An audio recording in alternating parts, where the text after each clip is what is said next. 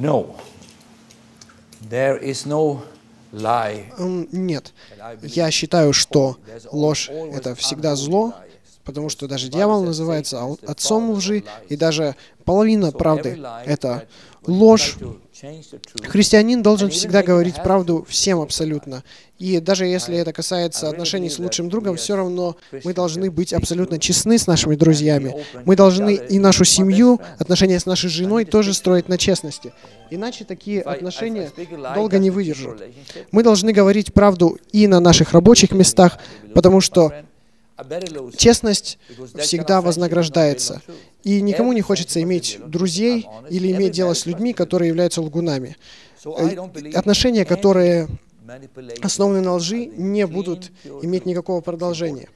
Но если мы говорим правду, то эти отношения будут иметь успех. И что я хочу особо подчеркнуть, это то, что мы можем говорить правду разными способами. Мы можем говорить ее не гневаясь, не в горечи, но с любовью. Так говорит Библия.